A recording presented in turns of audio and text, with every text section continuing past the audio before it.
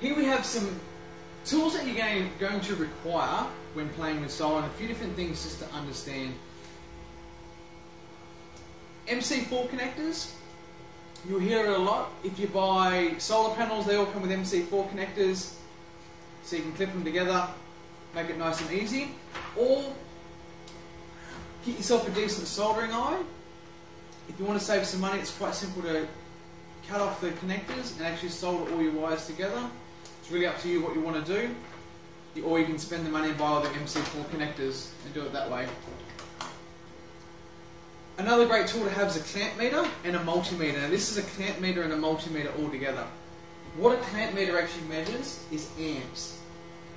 So you actually clip it around the cable, just clip it around the positive, and it's actually, all, or the negative will tell you the amps that are flowing through that cable. So they're really good to have. They're really, really good to have to check, um, to see if you've got a panel or something's happened to a panel within a line. You can just clip around the cables in that line and see what the amps are. Um, this one here's also got a multimeter in it, which is really good for reading voltages. So actually, it'll do low, like 12, 24, 48 to read whatever voltage, DC or AC. Get yourself a multimeter and a clamp meter all in one if possible. Another great tool to have doing all this DIY is these are crimpers for your battery terminals. What these allow you to do is crimp these terminals onto batteries. If you're going to do 12 volt, you're going to require a bigger crimper than that. You're going to want the next one up, which is a little bit more expensive because you're going to want bigger cables and lugs for your 12 volt system. Fuses, you've got a couple of different choices when it comes to safety. Um, fuse everything. These are quite big, they're 500 amp fuses, that's the block. The fuse jumps in there. You can use fuses or you can use breakers. Now with the breakers you can get them in AC or DC breakers. This here is a three pole breaker. So it's three different circuits all in one there.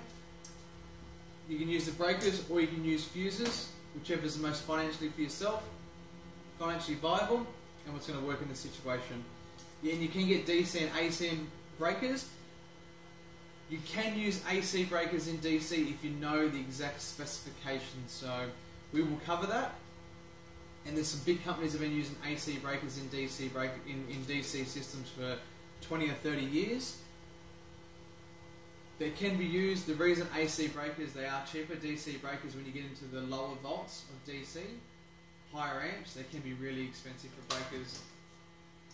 Another great item to buy. Remember, you're playing with electricity. It's dangerous. Safety. This is a voltage sensor.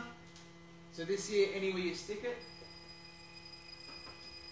it's got active wires it'll go off. So it's really important to have one of those. If you're unsure about electricity or unsure it's not connected, you can put that there and it's going to tell you whether the circuit's live or not. Good quality screwdrivers, and these are proper electrical screwdrivers. So they have a sheath over them. They're all a polyurethane and plastic handle. It'll save you potentially from being electrocuted. Good pliers. Have yourself a really good set of pliers with some good rubber handles a soldering iron, and just basically get yourself some of these tools. They're actually really important to have, even when in the future, if something goes wrong, you can fix something yourself. And there's always going to be an issue somewhere along the line, so it's important to have this sort of stuff so you can fix it over time. What we're going to do as well in the bonus series of these videos, you'll actually see us, we're going to implement some shunts and some battery monitoring systems and what this is actually going to do is actually will allow you in the bonus series to see what happens here in our system. So this will actually put our system online and you'll be able to see what energy we're using creating a daily basis. You'll be able to log into a portal and check it out, which is pretty cool. That's basically it with tools.